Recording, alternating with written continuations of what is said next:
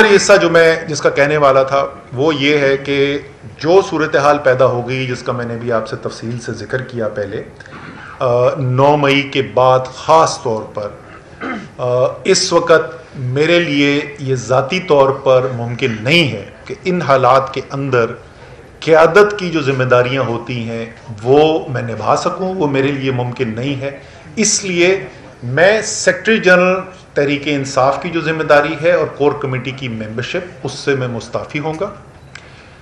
जो मेरे ख्याल हैं एक ये वजह भी है कि मैं खुलकर बात करना चाहता हूँ कि क्या आ, करने की ज़रूरत है। मेरे ख्याल में इस वक्त सबको हमें खुलकर बात करनी चाहिए और ज़ाहिर है कि जब आप एक अहम तरीन अहदे के ऊपर बैठे हुए हैं तो फिर ये बनता नहीं है कि आप अपनी कोई इनफरादी राय जो है वो अलग से वो दें।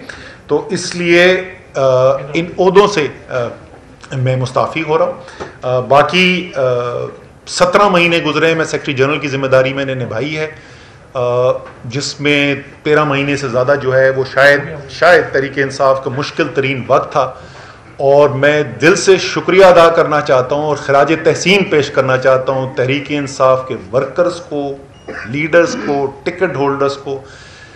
जिस मेहनत जिस तरीके से मैंने इनको मेहनत करते देखा है, जिस दिलेरी से, जिस हुब्बुल वतनी से मैंने इनको काम करते देखा है, मैं बहसीत जो मेरी ज़िम्मेदारी थी सेक्रेटरी जनरल मैं इन सबका जैसे मैंने कहा, मैं दिल से शुक्रिया भी अदा करना चाहता हूँ और मैं खराज तहसीन भी पेश करना चाहता हूँ। मेरे ख्याल में ये वर्कर जो हैं, तरीके इंसाफ के कारकुनान जो हैं, ये महब वतन पाकिस्तानी जो हैं, ये पाकिस्तान का एक बहुत बड़ा असासा है।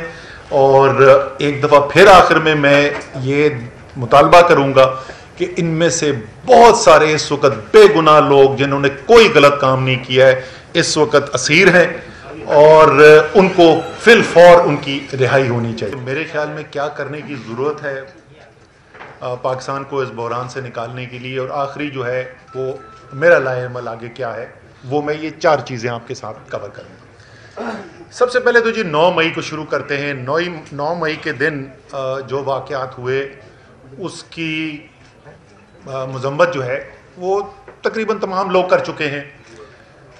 लेकिन मैं ज़रा सा तफसील में जान चाहता हूँ कि क्यों वो वाक़ात जो थे 9 मई के जो वाक़ात थे, वो क्यों मुल्क के लिए ख़तरनाक थे?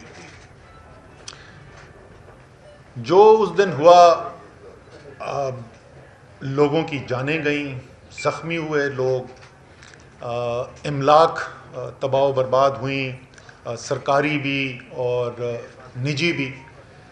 आ, लेकिन शायद सबसे ज़्यादा जो उस दिन ख़तरनाक बात हुई कि ऐसी तनसीबात जिनका फ़ौज से ताल्लुक़ था उनके ऊपर हमले किए गए। फ़ौज का पाकिस्तान के अंदर क्या उसकी अहमियत है? मेरे ख्याल में इसका सबसे अच्छा तजिया इमरान खान साहब ने पेश किया। और खान साहब ने जैसे और एक दफ़ा नहीं, एक से ज़्यादा दफ़ा वो कह चुके हैं ये बात कि मुस्लिम ममालिक की तरफ़ अगर आप नज़र दौड़ाएँ पिछले पंद्रह बीस साल के अंदर तो आप देखेंगे कि किस तरीके से तबाही देखी गई है मुस्लिम दुनिया के अंदर।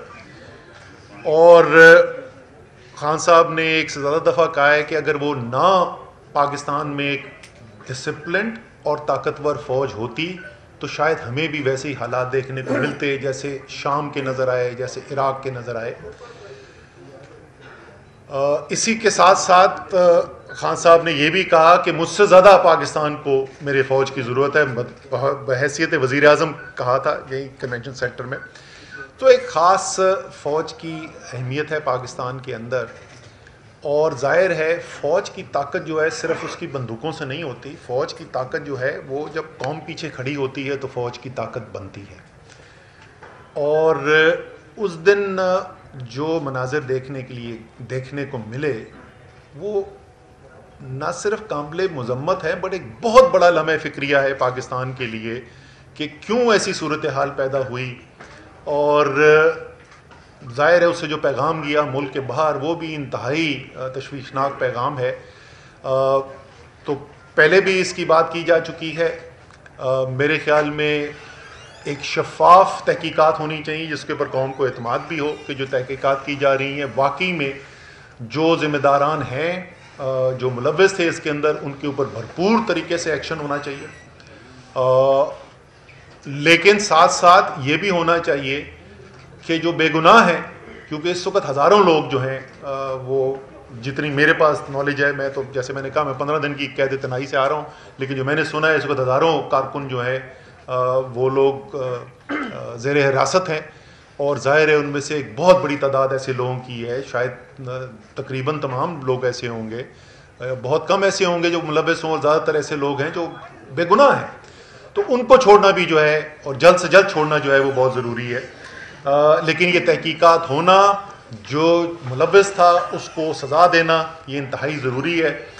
मेरे लिए ज़ाती तौर पे इसलिए भी वो उस दिन के मनाजिर ज़रा ज़्यादा क्या कहना चाहिए तशवीशनाक थे या दिल को मेरे ज़्यादा लगे क्योंकि ये मैं पहले भी बात कर चुका हूँ। आप मुझसे आज कोई ऐसी बात नहीं सुनेंगे जो आप पहले नहीं सुन चुके हैं। सवाई मेरे ख्याल में आखिर में थोड़ी सी मैं बात करूँगा बाकी मेरा तजिया जो है वो कोई भी ऐसी चीज़ नहीं है जो आप पहले नहीं सुन चुके मुझे याद है, मैंने 2017 में नेशनल असम्बली के अंदर, कौमी असम्बली में खड़े होकर तकरीर की थी, जिसमें मैंने दस नाम लिए थे और मैंने कहा, ये नाम कौन है? आपने शायद सुने में ना हो। और वो दस लोगों के नाम थे, दस शहीदों के नाम थे, जो उससे पिछले चंद हफ्तों के अंदर शहीद हुए थे। और जैसा मैंने उस दिन कहा था, और आज फिर कह रहा हूँ, आपका और मेरा दिफा करते हुए। तो फौज जो है, वो सिर्फ़ उन दो तीन बड़े जर्नलों का नाम नहीं होता जिनके नाम टेलीविज़न के टॉक शोज़ के अंदर लिए जाते हैं या जिनकी प्रेस कॉन्फ्रेंसेस के अंदर बात की जाती है फ़ौज लाखों लोगों पर मुश्तमिल है। जो अपनी ज़िंदगी दाव पे लगाते हैं अपने मुल्क की हिफाजत के लिए आपकी और मेरी हिफाजत के लिए। और जैसे मैंने कहा मेरे लिए ज़ाती तौर पे इसलिए तकलीफ़ दे था। आ, मेरा तीन नस्लों से फ़ौज से ताल्लुक़ है ये बात भी पहले से मशहूर है। आ, और मुझे बड़ा फ़ख्र है इस बात का कि कोई उन्नीस सौ पैंसठ के बाद से, कि जंग से लेके अगर आप वॉरन टेरर तक उठा के देख लें, कोई भी ऐसी सूरत हाल नहीं हुई, जहाँ मेरे ख़ानदान का, मेरे मेरे वाले मेरे भाई, मेरे भतीजे वो उन्होंने अपनी ज़िंदगी दाव पे ना लगाई हो मुल्क के दिफा के लिए। सो, इसलिए जो भी जो भी ताल्लुक़ रखता है, जो भी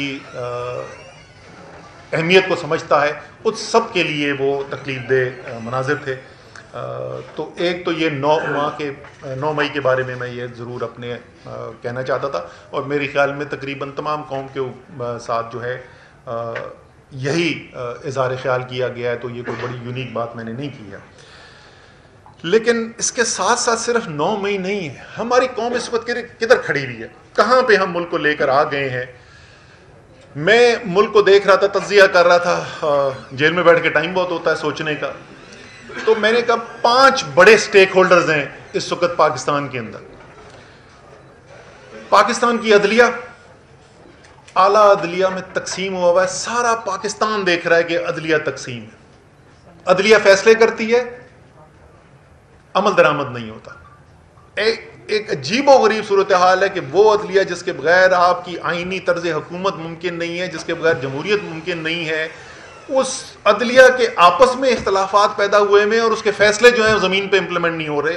ये ये कितनी खतरनाक सूरत हाल